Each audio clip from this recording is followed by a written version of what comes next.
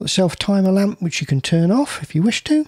Interval timer, so you can do a time lapse. So you can set how many the interval every hour, every minute, eh, whatever seconds, number of frames, and when you want it to start. And then you've got interval timer shooting exposure smoothing, which is on or off, and that'll try and keep the exposure the same between each shot in case the lighting is changing.